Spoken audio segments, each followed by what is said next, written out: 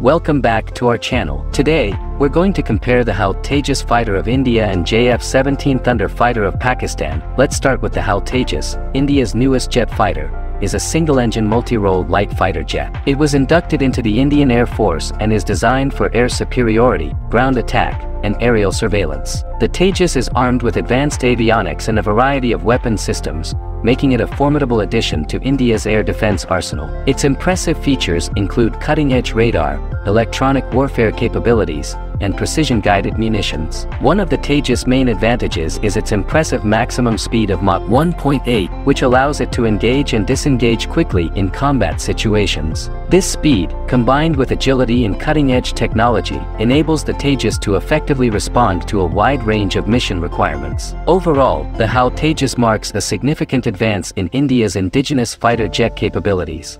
Now, let's take a look at Pakistan's latest jet fighter, the JF-17 Thunder. Developed in collaboration with China, the JF-17 is a lightweight, single-engine, multi-role combat aircraft. It is designed to be cost-effective and versatile, capable of performing various missions including interception, ground attack, and aerial reconnaissance. The JF-17 is equipped with modern avionics and a wide range of weaponry, making it a key asset for the Pakistan Air Force. The JF-17 can reach a maximum speed of Mach 1.6, providing it with significant agility and speed in combat situations. When comparing the two jet fighters, it's important to consider factors such as performance, technology, and combat capabilities. Both the HAL Tejas and the JF-17 Thunder have their strengths and weaknesses. The Tejas's advanced avionics and higher top speed offer advantages in dogfights and quick response missions. Meanwhile, the JF-17's cost-effectiveness and versatility make it a practical choice for various combat scenarios.